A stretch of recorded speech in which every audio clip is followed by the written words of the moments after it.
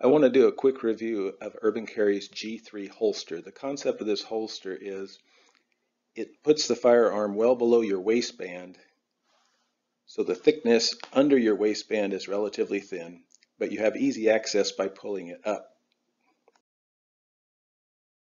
I believe this image is from Urban Carry's website. You can see that when you pull the holster up, it presents the weapon for easy access. You'll see in this review that many of my images are based on measuring the thickness of the holster and later compared to a normal holster. My desire was to make the thickness under my belt as thin as possible to make it comfortable, and thus the Urban Carry seemed to make sense.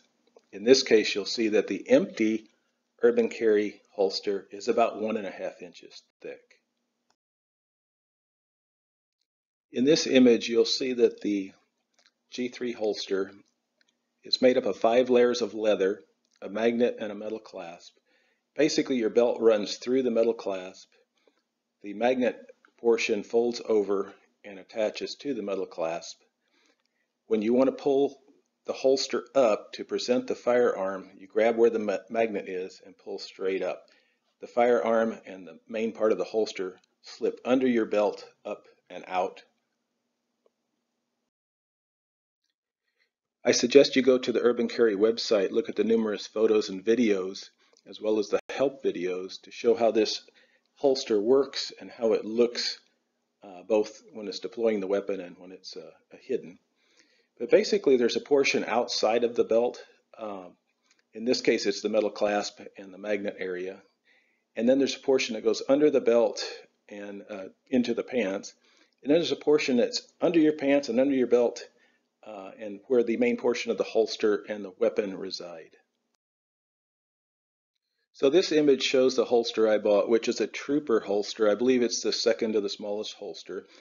I have a uh, Sig Sauer P938. The SAS basically means there's no metal sights. And it seems to fit this holster quite well. It snaps in well. Um, I'm a little suspicious that the holster was undersized for uh, this weapon. But checking with their customer service, they said, no, this was the correct size holster.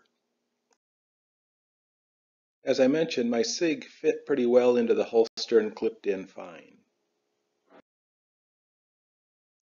This is a picture of my pistol inside the holster.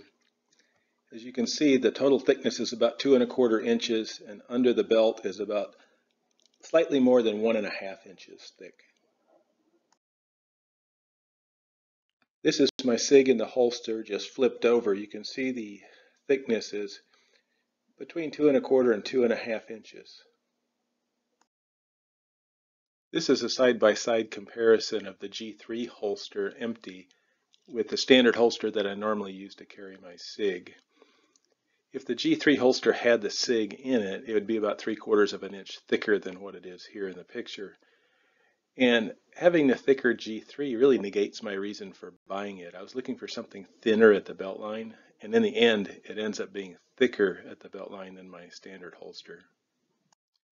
In summary, as I mentioned, the G3 holster was thicker at the belt line than what I wanted. A larger holster may allow the weapon to drop further down my pant leg and made the belt line uh, thinner.